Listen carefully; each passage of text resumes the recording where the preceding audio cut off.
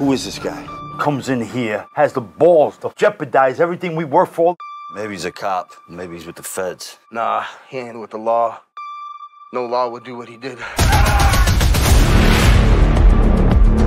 Only time I worried about him was the first time I met him. Broken, scared kid. Age is still very much a part of me.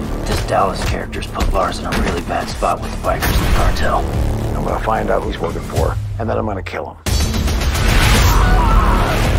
Word on the street is he's offering five million for anyone who can bring it to him. Well, it's a whole lot of reasons, isn't it? I'm savage. Room 104.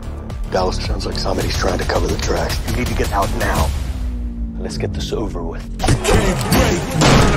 I'm with it. We got him. Shut him up. Tough guy, huh? I get him. Dallas's days are numbered. When he gets here, he's gonna kill you.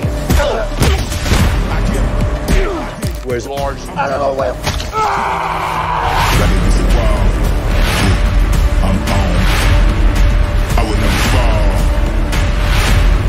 fall. The blind man, he made a weapon. He can't control it. I'm. I need to find Lars. I need to finish this.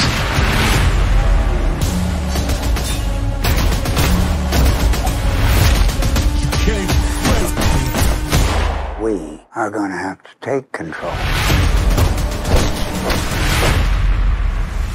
Wait!